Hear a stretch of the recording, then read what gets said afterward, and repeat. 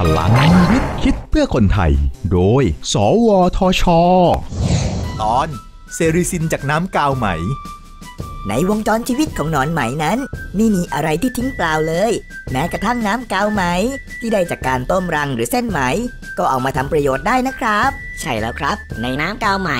มีโปรตีนกาวไหมหรือเฟริซิน ที่เต็มไปด้วยสารต้านอนุมูลอิสระมีคุณสมบัติป้องกัน UV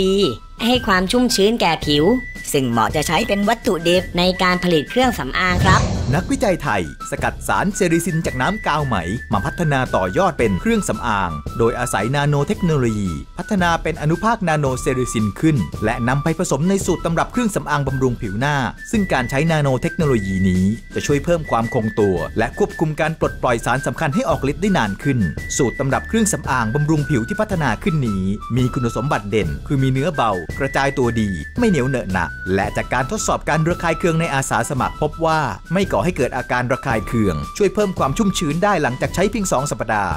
นับเป็นนวัตกรรมดีๆ ที่ได้มาตรฐานระดับสากล และช่วยเพิ่มขีดความสามารถในการแข่งขันให้กับอุตสาหกรรมไทย ผลงานวิจัยและพัฒนา โดยนาโนเทค สวทช พัฒนาคนด้วยวิทยาศาสตร์ พัฒนาชาติด้วยเทคโนโลยี สอบถามรายละเอียดเพิ่มเติมได้ที่ สวทช